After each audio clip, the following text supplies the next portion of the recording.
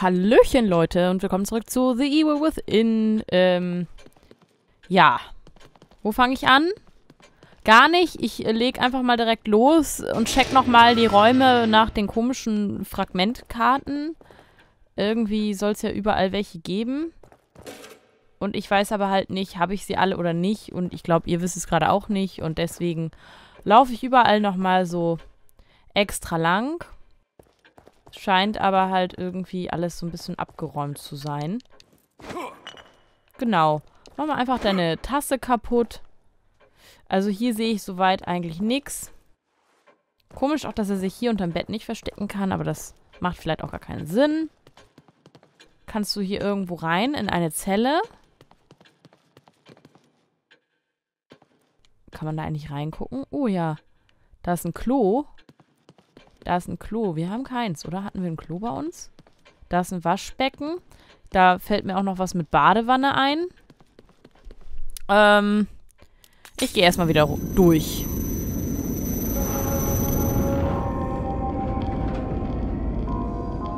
So, dann haben wir hier noch, ähm, ich mache mal kurz ein, eine Pause. Ähm, mir fehlt noch die Tür oben. Die habe ich wohl das letzte Mal übersehen. Ich würde sagen, das machen wir jetzt mal als erstes. Und laufen dahin, wo wir eigentlich schon mal waren. In der Hoffnung, dass Rubik uns möglichst oft in Ruhe lässt. Aber ich versuche das jetzt nochmal mit der Tür. Wenn er hier kommt, habt ihr recht, das habe ich nicht bedacht. Dann kann ich die Türen gar nicht mehr öffnen. Das ist natürlich scheiße. Dann bleibt einem nur noch wegrennen. Ähm, und genau die Tür geradeaus habe ich wohl vergessen. Huch. Oh, hier ist auch noch was. Oh, hier ist noch was.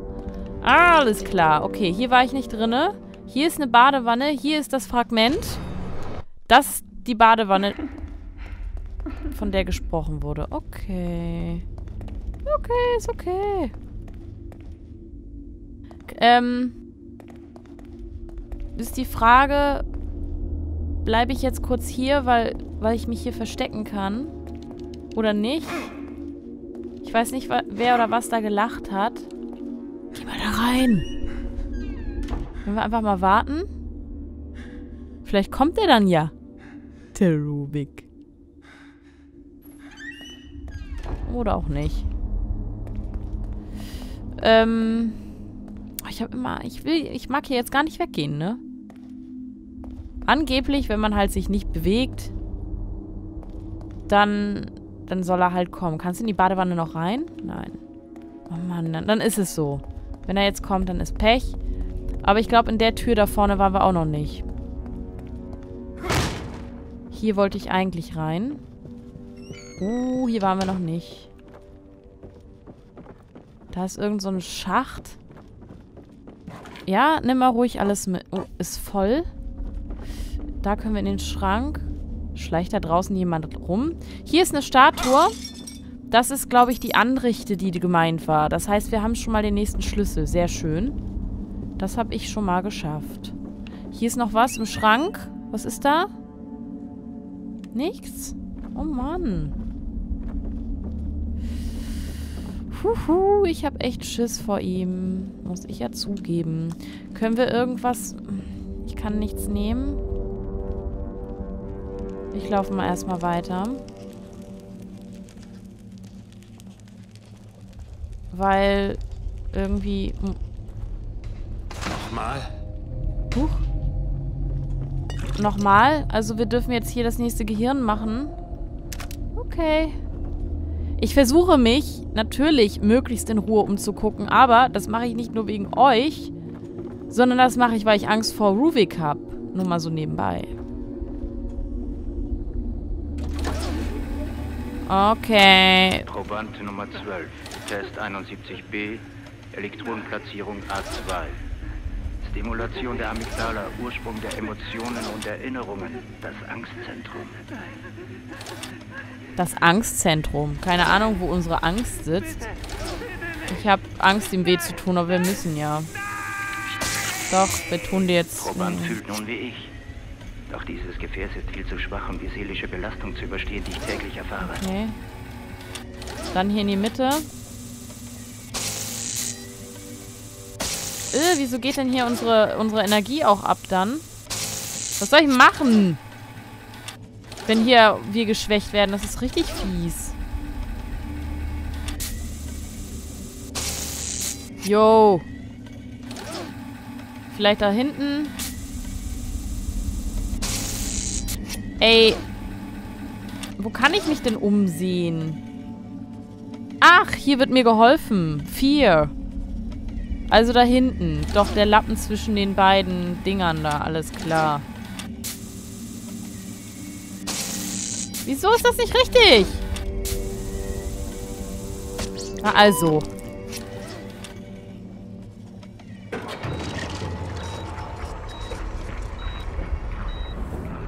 Okay, Kontrollpunkt. Cool.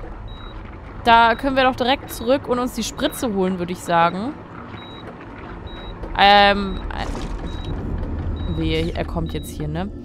Ähm, einfach, weil wir jetzt so viel verballert haben. Ich kann das nicht lesen. Okay, Anatomical Drawing oder so. Ich habe die Zeichnung gar nicht gecheckt. Ich habe die Zeichnung jetzt gerade viel zu spät gesehen. Das war ein bisschen blöd. Habe ich dadurch ein bisschen Energie verloren, aber ist auch nicht so schlimm. Kannst du hier noch irgendwas kaputt hauen? Oh, kannst du wirklich. Wir machen alles kaputt. Wir sind der Zerstörer. Yeah, yeah. Okay. Dann geh mal wieder zurück und hol dir die letzte Spritze. Wir hatten einen Kontrollpunkt. Das ist sehr gut.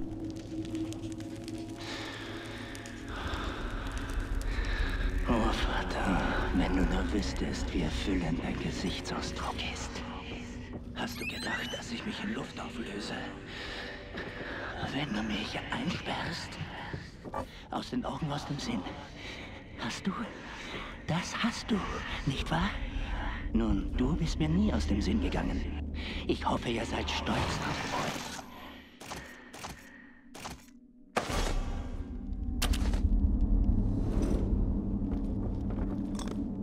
Okay. Können wir die erschießen? Stehen die auf? Wollen wir das überhaupt wissen? Noch können wir uns verstecken. Und damit ist jetzt gleich Schluss. Schluss, Schluss, Schluss. Okay. Schnell weg. Weg, schnell weg, schnell weg.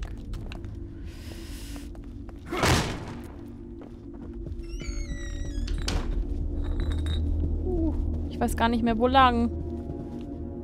Ich weiß gar nicht mehr, wo lang. Wo will ich lang? Da will ich raus, ne? Nein! Okay. Wow. Warte, warte, warte. Zünd ihn an. Sehr schön. Nimm die Axt mit. Oh Gott. Wo kommen die denn auf einmal immer her, ey? Okay. Okay, okay, okay.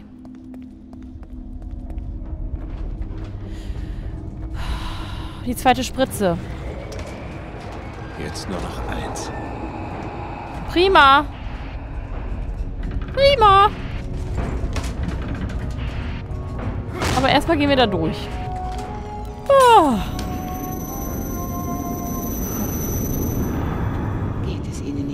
Nee, nicht so. Wie immer halt. Sie kennen mich doch schon langsam, Schwester. Echt. Tun Sie mal nicht so. Wenn wir irgendwas tun... 1700. Ich glaube nicht, dass wir jetzt wirklich was damit anfangen können. Wir brauchen viel, viel mehr Zeugs. Aber okay. Ich check die Lage mal wieder. Da lässt sich nichts machen. Oh, die Feuerrate könnten wir erhöhen. Und die Magazinkapazität. Äh, vom Scharfschützengewehr. Hm, das mache ich doch glatt mal. Magazinkapazität oder Feuerrate? Ich mache mal die Feuerrate. Genau. Das mache ich mal. 200 bleiben übrig. Und ich soll immer mal... Mach mal ruhig die Lampe an. Mach mal die Lampe an. Immer mal auch hinter den Stuhl gucken und so. Weil wir alle irgendwie nicht wissen, wo ich jetzt irgendwelche Kartenfragmente übersehen habe. Okay, okay. Dann gehen wir hier durch. Ähm... Keine Ahnung, ob hier auch noch irgendwas ist. Wir können auf jeden Fall den Schlüssel einsetzen und es müsste sogar noch Muni da sein. Oh, die ist aber noch voll. Das ist gut. Ja, ähm... Ich habe keine Ahnung. Ich mach mal das Fach hier auf. Es lächelt mich irgendwie so an.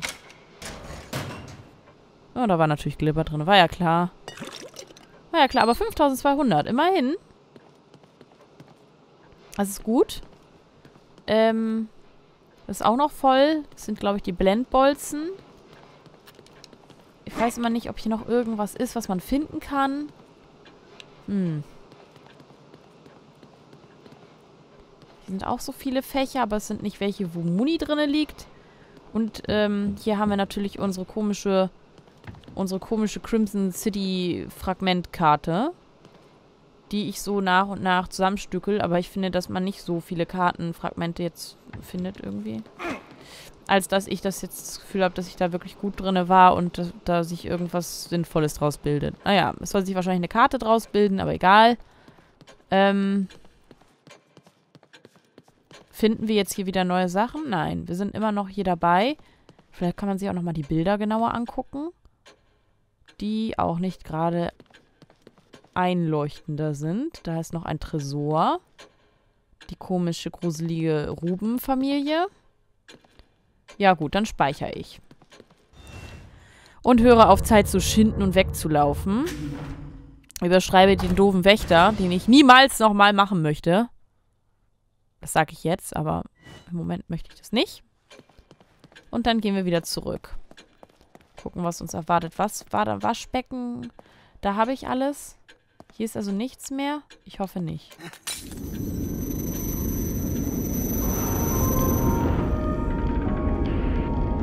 Ähm, da ich das jetzt gemacht habe, ähm, hier die weiteren Tipps von meinen fleißigen Helfern und Kommentatoren, äh, ähm. Also das mit den Rädern haben wir schon. Wir haben das mit der Anrichte jetzt gemacht. Ähm, jetzt fehlt mir noch ein Schlüssel. Da muss was irgendwie brennen oder so. Das ist zwar schon ein wenig gespoilert, aber ich warte einfach mal ab, dass irgendwie am Ende des Kapitels, dass ich da nicht irgendwie aus dem Fenster gehe, falls irgendwas brennt oder so. Darauf warte ich noch. Eher frage ich mich, wo ist noch die ein paar Vasen im Raum, eine geköpfte Frau glupscht auf ein blaues Rad, alles öde, da könnte man vor Langeweile an die Decke gehen oder starren.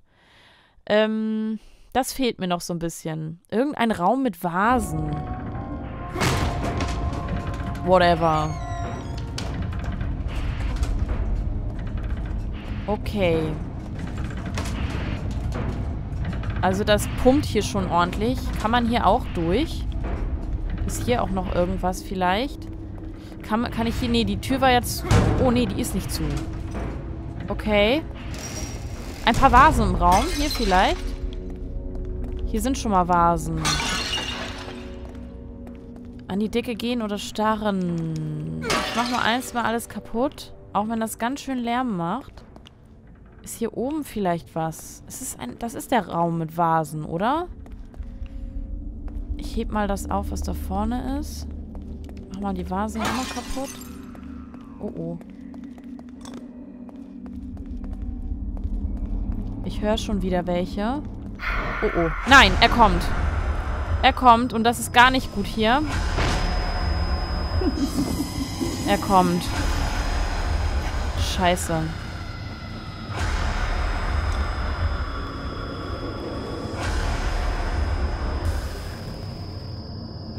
Ähm. Shit. Shit, shit, shit, shit. Oh, ich wollte an ihm vorbeilaufen.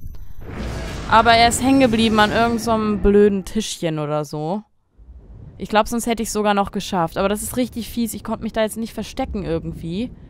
Und auch nicht weglaufen, weil die Türen ja alle zu sind. Und das vergesse ich halt immer. Und das ist gemein.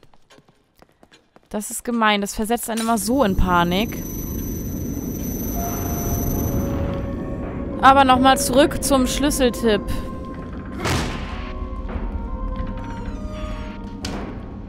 Ähm, zurück zum Schlüsseltipp. Nochmal. Ein paar Vasen im Raum. Eine geköpfte Frau glupscht auf ein blaues Rad. Alles öder. Könnte man vor Langeweile an die Decke gehen oder starren. Eine geköpfte Frau? Glupscht auf ein blaues Rad. Wir versuchen es einfach nochmal. Ich nehme mal an, hier ist auch eigentlich nichts mehr. Wir machen auch so viel Lärm hier. Ist nicht so gut. Nimm mal alles mit. Geköpfte Frau. Glubscht auf ein blaues Rad. Glubscht hier jemand auf ein blaues Rad. Oh. Ich habe keine Ahnung. Okay. Kannst du die irgendwie... Nein, die Vasen kannst du nicht. An die Decke starren, Langeweile. Okay. Okay, da ist einer. Können wir den von hinten platt machen? Shit. Dankeschön.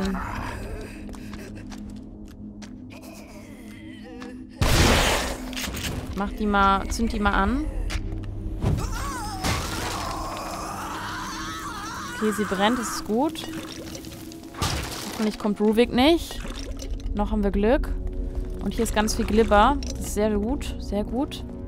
Hier können wir uns verstecken. Das ist auch gut. Was ist das? Oh, ich glaube, das war besondere Munition. An die Decke starren. Also ich glaube, hier ist es nicht.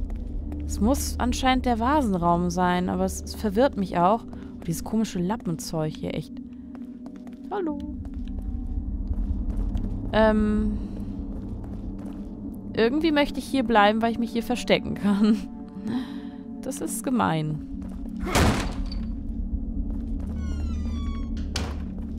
Kannst du dich nicht mal verstecken? Soll ich mal warten und das ausprobieren, ob er dann kommt?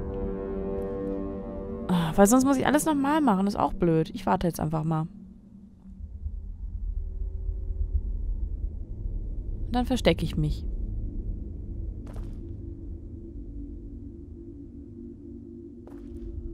Nicht bewegen. Mal gucken, ob das klappt. Ich würde es echt mal gerne wissen, ob das stimmt, wenn man nichts macht.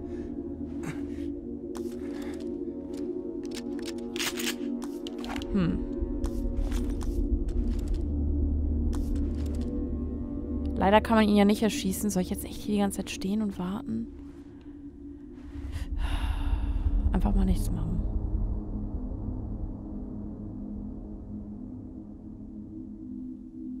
Der ultimative Ruvik-Test. Und dann zieht er uns unterm Bett raus.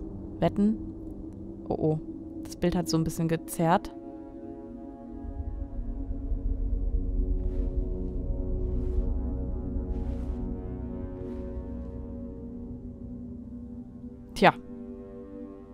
Ob das so stimmt mit dem Nichtsmachen?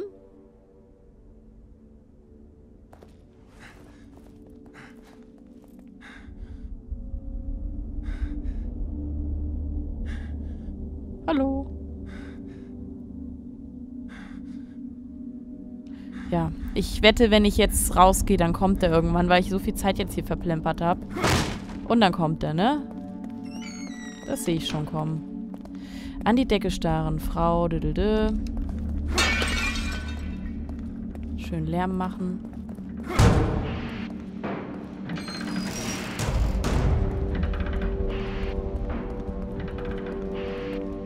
Könnt ihr natürlich auch gut speichern. Das ist doch der Raum mit Vasen. Das ärgert mich jetzt hier irgendwie. Aber ich sehe auch kein blaues Rad oder so. Oh oh.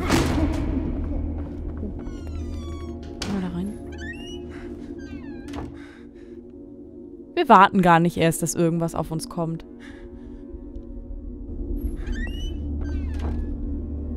Wir haben die Zeit, ja. Wow! Nee, ist klar. Wenn er jetzt nicht kommt, ne? Bei den Bomben, die wir hier explodieren lassen. Upsi. Das war nicht so gut.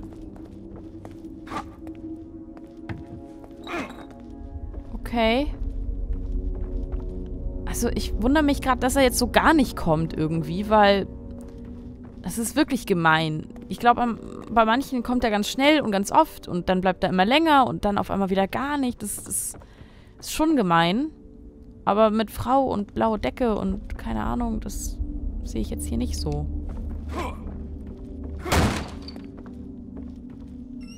Ah. Wenn ich rausgehe, kommt er irgendwann. Ich weiß es. Nimm alles mit, was du kriegen kannst. Oh, hier ist noch was Wichtiges. Oh, kann man sich hier verstecken?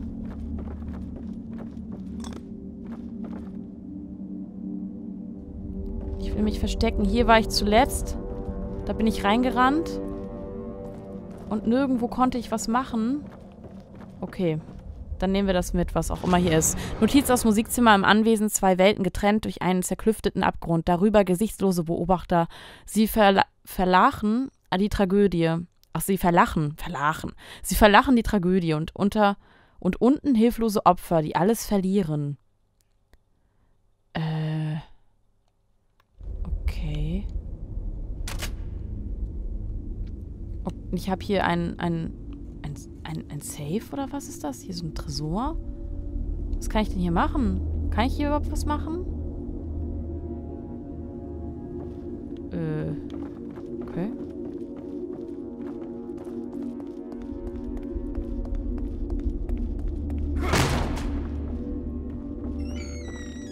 Kannst du dich mal einfach verstecken wieder und wir lassen ihn kommen und dann ist er da gewesen und... Da ist er. Er ist da. Er ist da. Oh Gott, oh Gott, oh Gott.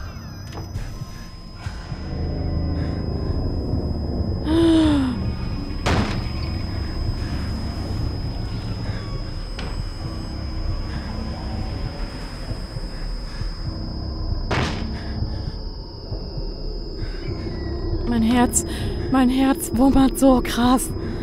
Oh Gott. Wow. Okay. Wir haben es überlebt. Oh Gott. Ich krieg einen Herzinfarkt, ganz ehrlich. Nimm's mit. Du hast mich nicht bekommen.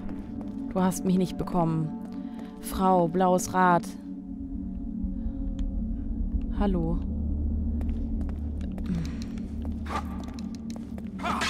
Also irgendwie weiß ich auch nicht, was ich hier tun soll. Ähm...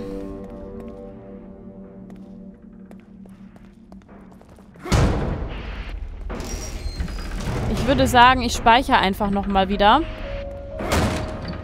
und äh, überlebe den Schock meines Lebens mal wieder. Obwohl man die ganze Zeit auf ihn wartet. Der besorgte Typ also. Man wartet die ganze Zeit auf ihn, ne? Und dann denkt man immer so gerade, man ist sicher und dann, wumm, ist er da. Das ist schon echt fies. Ich gehe nochmal auf den Stuhl hier mit euch. Bei 6400 lässt sich vielleicht was Schönes wieder machen.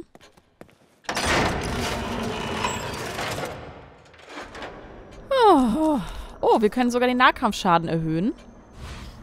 Bringt uns das denn was? Schadensmultiplikator von der Pistole könnte man mal erhöhen. Feuerrate, Nachladegeschwindigkeit, wir können eine Menge machen. Die Genauigkeit könnten wir sogar auf Maximum hinkriegen jetzt. Reserve. Granaten. Äh, Spritzen.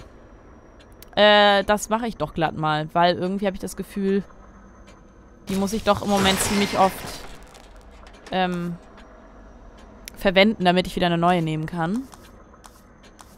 Äh, Scharfschützengewehr, Munition, weiß nicht. Äh, hier die Kaliber. Qualenbolzen, können wir da eigentlich auch mal was machen wieder? Harpunenbolzen könnten wir erhöhen. Das ist natürlich auch gut.